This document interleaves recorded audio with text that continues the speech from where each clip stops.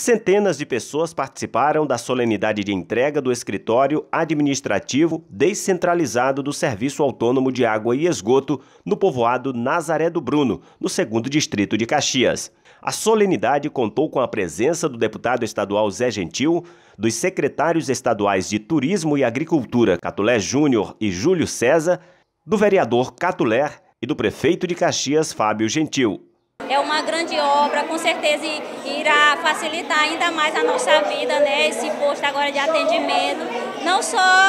não só as pessoas da nossa comunidade, mas de outros povoados, né, que com certeza irá facilitar para todos. Queremos agradecer muito ao nosso prefeito de Caxias, Fábio Gentil, ao vereador Catulé, principalmente pelo trabalho, pelo esforço, pela nossa comunidade e também é, em nome de todos os povoados, nós agradecemos essa obra e recebemos com muita gratidão.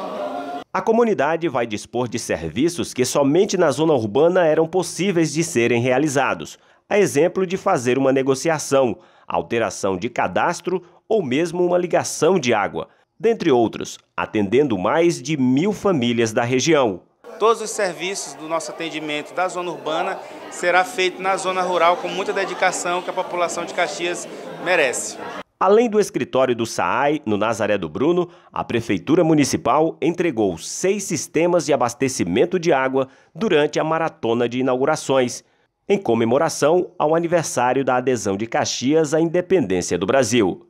Aqui, que tem a mais de 70 quilômetros da sede da cidade, o povo irá ter as condições de fazer, de pedir uma religação, de trabalhar a sua água, de ser respeitado e valorizado, ser escutado para melhorar o atendimento público.